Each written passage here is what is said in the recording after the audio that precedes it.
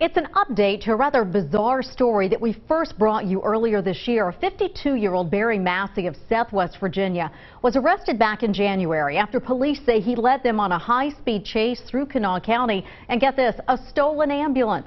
We've just learned, according to the prosecutor's office, that Massey has pleaded guilty in this case.